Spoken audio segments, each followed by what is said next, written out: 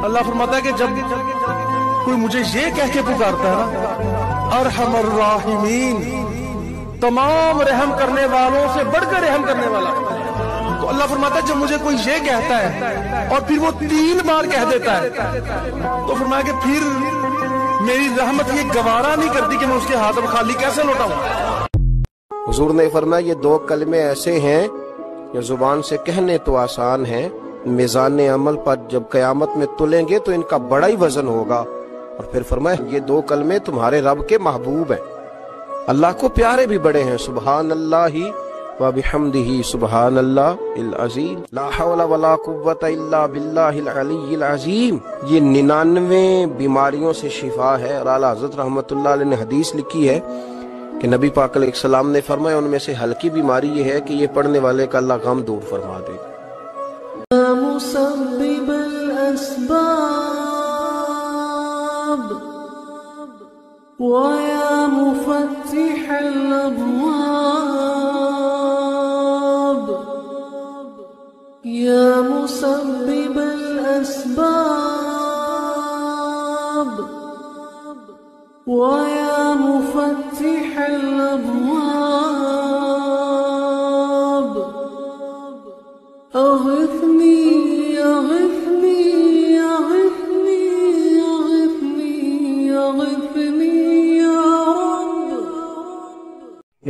हदीस में आता है कि अल्लाह ताला क्यामत वाले दिन उस शख्स की तरफ़ देखेंगे भी नहीं। चाहे उसकी जितनी मर्ज़ी इबादत है, जिसकी ज़ुबान के डर से लोग उससे मिलना छोड़ दें। नबी इस्लाम ने फरमाया, जो मोमिन सुबह शाम सात मरतबा इस दुआ को पढ़ेगा, अल्लाह ताला उसके हर अधूरे काम को पूरा फरमा देगा। और वो क्या है? हसबी अल्लाह अलैहि तवक्कलतु व हुवा रब्बुल अर्शिल अजीम।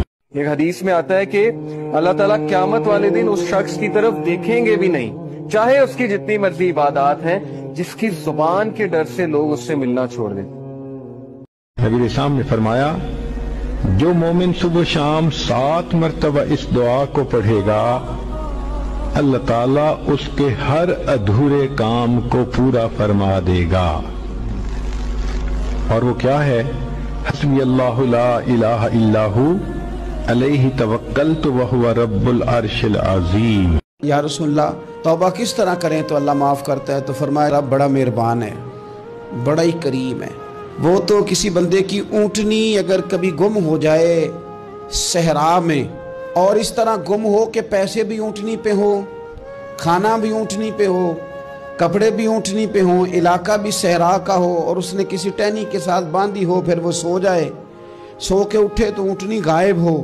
अब वो इतना परेशान हो कि आगे पीछे दाएँ बाएँ देखा तो पता चला कि ऊँटनी तो गायब हो गई। ना खाना है, ना पैसे हैं, ना कपड़े, ना सवारी है। इलाका सहरा का है, पैदल जा भी नहीं सकता।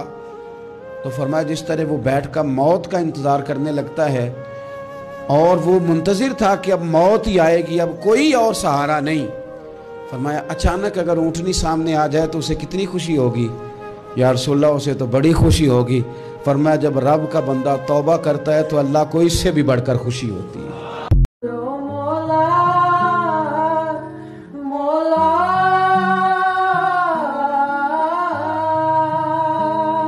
हदीस पाक में आता है कि अगर कोई शख्स अल्लाह के खौफ से रोया और अल्लाह के खौफ से रोने की वजह से उसकी पलकों के बालों में से एक बाल की जड़ गीली हो गई। तो कयामत के दिन वो बाल खड़ा हो जाएगा। अल्लाह, या तो मुझे निकाल ले या इसे जन्नत अता फरमा दे। तो अल्लाह जल्ला शानहू उस बाल को तो आँख से नहीं नोचेगा, बल्कि उस शख्स को अल्लाह जन्नत अता फरमा दे। अल्लाह के रसूल सल्लल्लाहु अलैहि वसल्लम ने फरमाया, हदीस कुदसी है कि अल्लाह ताला फरमाता है कि, ए मेरे बंदे जब तक तू मुझे पुकारता रहता है और मुझसे अच्छी उम्मीद रखता है और तू मुझसे बख्शिश तलब करता रहता है तो मैं तुझे माफ़ करता रहूँगा, चाहे तेरे कैसे आमाल भी हो, मुझे इसकी कोई परवाह नहीं। कि जब तुम कहते हो, या तो सत्तर दफ़ा जवाब आता है। बोल बोल बोल बोल बोल, मेरा बंदा, तेरा रब हाजिर।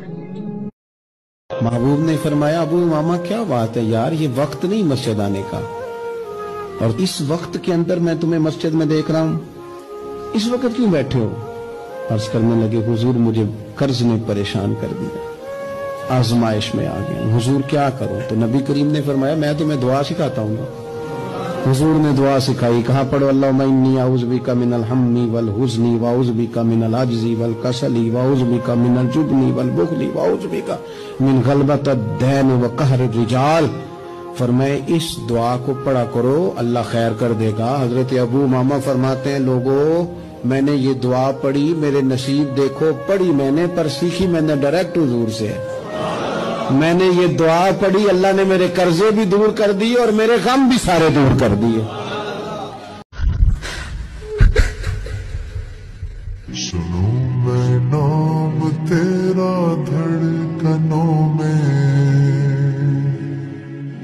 मज़ा आ जाए मौला दिल बदल दे। आपने देखा एक शख्स सोया हुआ है और एक फरिश्ते के हाथ में पत्थर है। उसके सर के ऊपर मारता है तो उसका सर कीमा हो जाता है, पत्थर लुढ़क के यूँ चला जाता है, वो उसको उठाने जाता है, इतने में उसका सर ठीक हो जाता है वो आके फिर उसको मारता है, फिर उसका सर कीमा कीमा हो जाता है। आपने फरमाया, ये कौन है? कहा, ये वो है जो ईशा की नमाज़ पढ़े बगैर सो जाता था, जो ईशा की नमाज़ पढ़े बगैर सो जाता था। अल्लाह कहता, आँसू का एक कतरा जो तेरी आँख में ही रहे, बाहर ना निकले, इतना दे दे, मैं तेरे अस्सी साल के गुना धो दूँगा। अल्लाह के रसूल सल्लल्लाहु अलैहि वसल्लम ने फरमाया, हदीस कुदसी है कि अल्लाह ताला फरमाता है कि, ए मेरे बंदे, जब तक तू मुझे पुकारता रहता है और मुझसे अच्छी उम्मीद रखता है और तू मुझसे बख्शिश तलब करता रहता है तो मैं तुझे माफ़ करता रहूँगा। चाहे तेरे कैसे आमाल भी हो, मुझे इसकी कोई परवाह नहीं।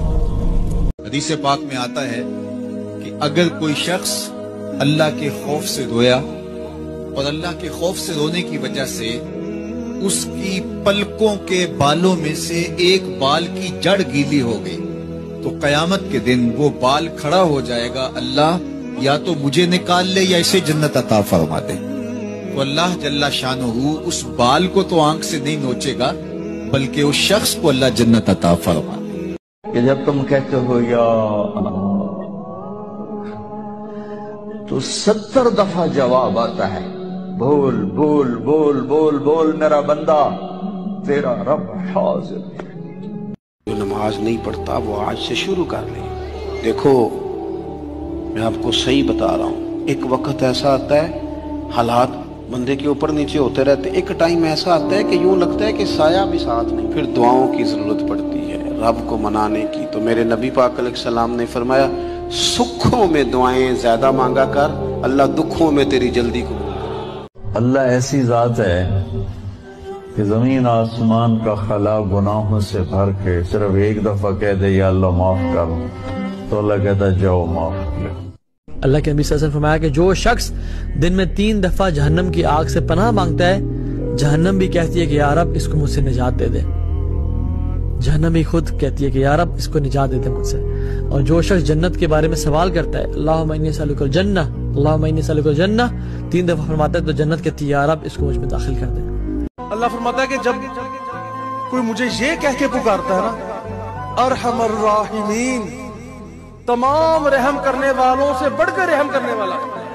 तो अल्लाह फरमाता है, जब मुझे कोई ये कहता है और फिर वो तीन बार कह देता है तो फरमाया कि फिर मेरी रहमत ये गवारा नहीं करती कि मैं उसके हाथ में खाली कैसे लौटाऊं? तो फिर मैं ये नहीं देखता कि यार ये गुनाहगार कितना है, ये निकम्मा नकारा कितना है, कोई अमल इसके पल्ले है कि नहीं? फरमाया, फिर मैं ये नहीं देखता। फिर मैं ये देखता हूँ, ये मुझे मेरी किस सिफ्त से पुकार रहा है? अल्लाह कुरान में फरमाते हैं तो मुझ पर भरोसा कर। ला वहाँ से रोजी दूँगा कि तूने कभी सोचा भी नहीं होगा। मेरी जात पर भरोसा कर, फिर मैं तेरे लिए बड़े दरवाजे खोल दूँगा।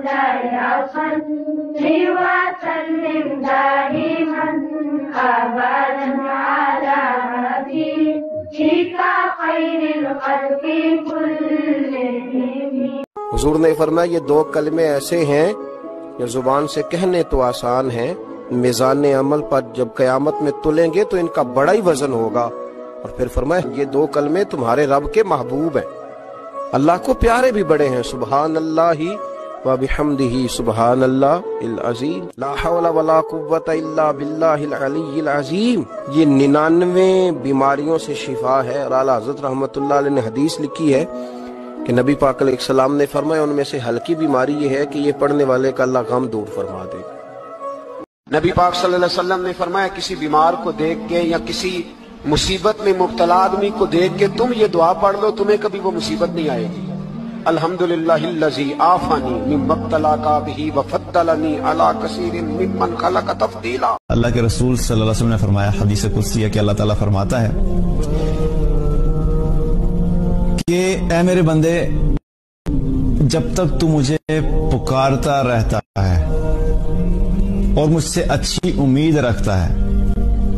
और तू मुझसे बख्शिश तलब करता रहता है। तो मैं तुझे माफ़ करता रहूँगा, चाहे तेरे कैसे आमाल भी हो, मुझे इसकी कोई परवाह नहीं। हदीस पाक में आता है कि अगर कोई शख्स अल्लाह के खौफ से रोया और अल्लाह के खौफ से रोने की वजह से उसकी पलकों के बालों में से एक बाल की जड़ गीली हो गई तो कयामत के दिन वो बाल खड़ा हो जाएगा अल्लाह या तो मुझे निकाल ले या इसे जन्नत अता फरमा दे। तो अल्लाह जल्ला शान उस बाल को तो आँख से नहीं नोचेगा बल्कि उस शख्स को अल्लाह जन्नत अता फरमा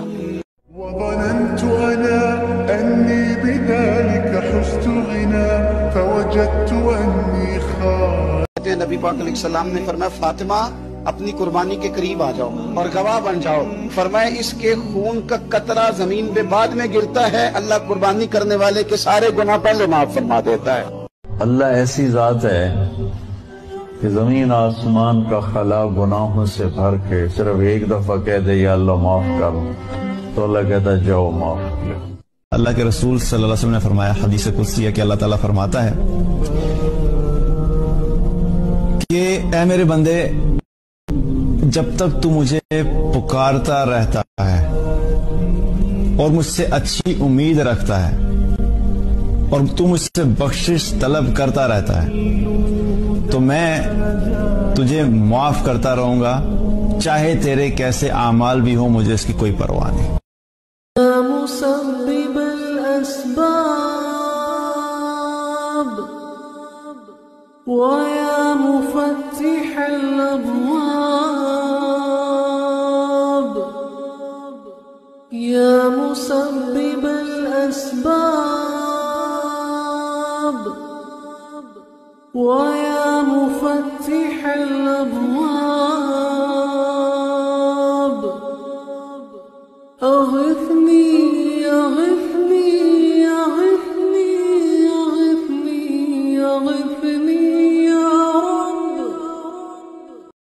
नबी साहब ने फरमाया जो मोमिन सुबह शाम सात मरतबा इस दुआ को पढ़ेगा अल्लाह ताला उसके हर अधूरे काम को पूरा फरमा देगा। और वो क्या है? हसमी अल्लाह अलैहि तवक्कलतु तो वह रब्बुल अर्शिल अजीम।